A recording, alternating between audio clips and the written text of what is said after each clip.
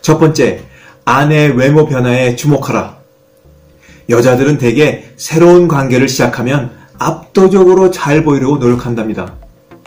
그래서 아내가 갑자기 외모에 대해 상당히 공을 들인다면 아내 인생에 새로운 관계가 생겼다는 충분한 신호가 됩니다.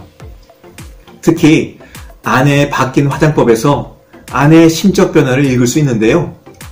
맨 얼굴로 지내던 아내가 화장을 시작했다면 자신을 여성으로 재인식하기 시작했다는 신호라고 합니다. 다시 말해 어떤 놈에게 여자로 보이고 싶어졌다는 마음을 드러낸 것이죠.